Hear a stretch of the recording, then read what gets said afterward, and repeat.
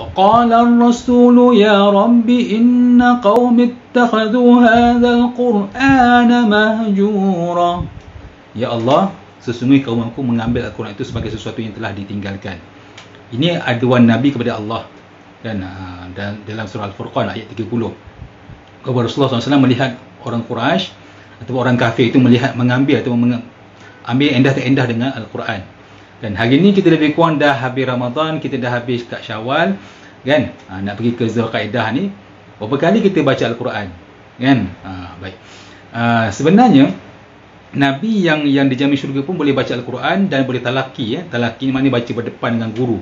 Nabi ber, ber, bertalaki dengan malaikat Jibril. Baik. Nabi bertalaki dengan malaikat Jibril sebanyak 24 kali. 24 kali. Kan? Ha, kita talaki dengan guru apa kali agak? Dari, daripada Al-Fatihah sampai An-Nas. Kan? Baik. Kemudian uh, yang tadi hadis dalam Sahih Bukhari lah. Kemudian tuan-tuan dan perempuan, kalau zaman dulu kita payah nak talaki, payah kan? Nak cek masa, cek tempat, cari guru sebagainya. Hari ni dah mudah.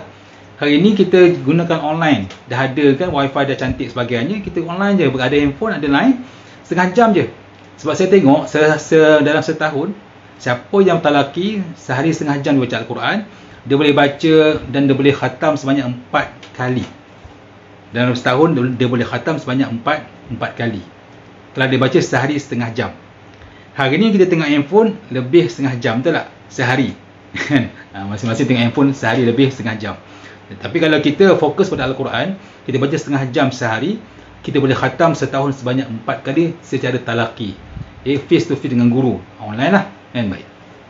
Kemudian bila dah bila dah boleh apa bila boleh rajin talaki dan berani talaki, kita akan berani untuk berlagu. Sebab sebut dalam hadis dalam Sahih Bukhari, laisa minna man man la yataghanna bil Quran.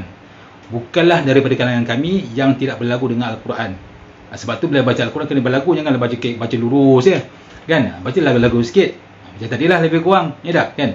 Bismillahirrahmanirrahim. Contohnya kan? Janganlah baca bismillahirrahmanirrahim alhamdulillahirabbilalamin ha, tak syok kan? Kita baca berlagu kan? Baik. Dan bila berlagu baca slow pula. Warattilil qur'ana tartila. Kan? Baca al-Quran secara perlahan berlagu tapi perlahan dan dihayati. Kan? Jadi tuan-tuan perempuan Ha, ini ada peluang untuk kita baca Al-Quran sepanjang kita hidup ni ha, dalam kubur dalam apa pada masa tak baca dah. Kat dunia kita baca jadi moga-moga ada masa ni kita gunakan sungguh-sungguh untuk baca Al-Quran